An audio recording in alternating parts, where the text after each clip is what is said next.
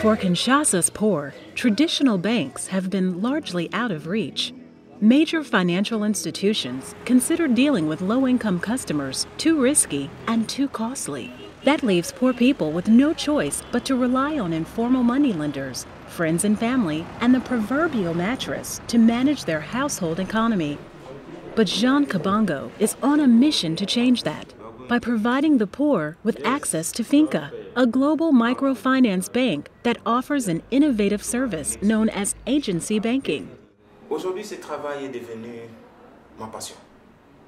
Ma passion dans la mesure où, au moment où on commençait le agency banking, euh, moi-même, je ne comprenais pas quoi est-ce que ça, va, ça allait donner.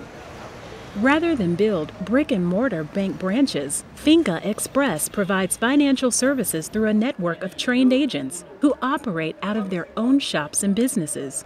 Mais avec Finca Express, nous disons que le modèle d'affaires, c'est celui de pouvoir utiliser un canal transactionnel, un canal d'acquisition de clients qui soit le plus moins cher possible par rapport à nous et par rapport même aux clients, afin de leur permettre, n'est-ce pas, de l'utiliser sans beaucoup trop dépenser.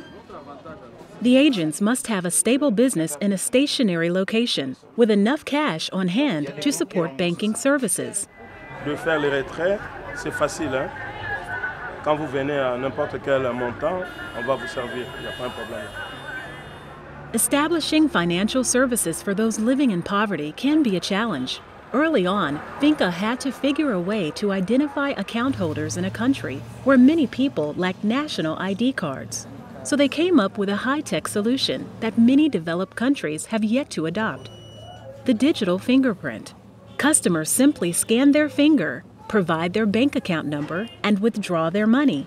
Finca euh, est en train de servir la population euh, la plus pauvre, plus démunie. Et nous avons euh, même des clients qui sont analphabètes. Et donc, ce que nous avons voulu, c'est de rendre le service beaucoup plus simple et beaucoup plus utilisable par tout le monde.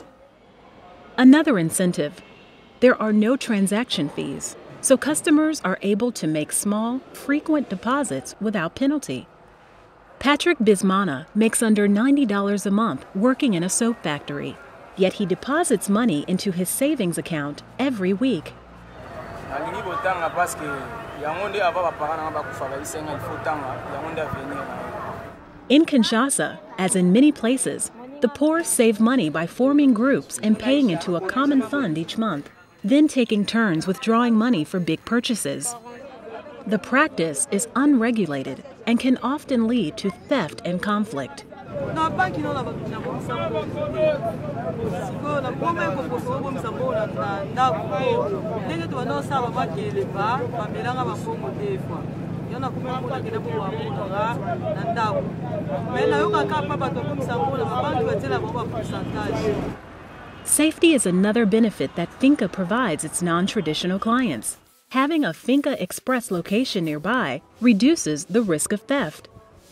risque eza ke peut-être parce que bavoleur bazali yo kotambola boye esaki babotoli yo Seraphine Moulet is a kindergarten teacher who sells a variety of goods for extra income.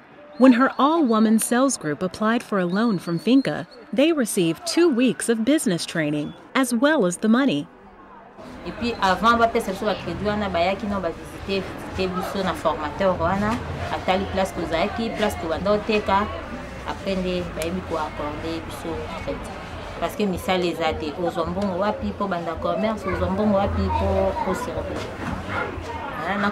une grande femme d'affaires selon moi. Customers aren't the only ones whose lives are improving thanks to Finca Express. Agents like Diego Tuaca earn extra income through commissions, and belonging to the Finca network also increases traffic to their own businesses, improving their revenues.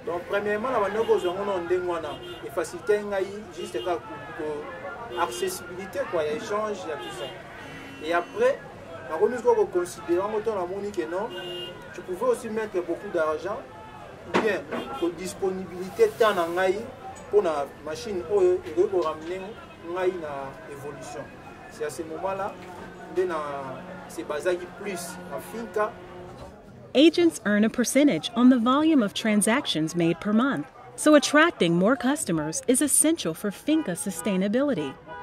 Et donc, au moment où nous, commen- nous commencions euh, les Finca Express, Finca euh, n'avait que euh, 70 000 à 80 000 clients. Mais aujourd'hui, en termes de ceux qui ont l'épargne, qui ont des comptes d'épargne avec Finca, nous en comptons plus de 150 000. Every week, Finca holds marketing drives across Kinshasa to get the word out. Each event yields about 50 to 100 new customers. Most have never used a bank before. At age 54, Eliza Bakutima opened her first ever bank account with only $1. She is hoping to save enough to buy a piece of land someday.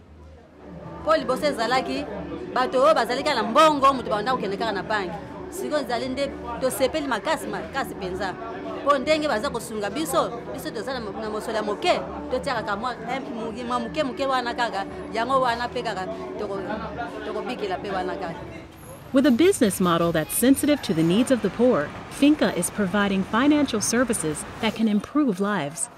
Il il n'avait aucun espoir sur son avenir. Mais ayant été convaincu par nous qu'il peut commencer à faire des petites épargnes en utilisant Finca Express, cette personne met un peu d'argent de côté, un peu d'argent de côté. Aujourd'hui, qui s'est constitué un capital, qui achète sa marchandise, qui commence à vendre, qui paye les minerales pour les enfants et qui a la possibilité aujourd'hui de trouver une maison, je crois que c'est grand.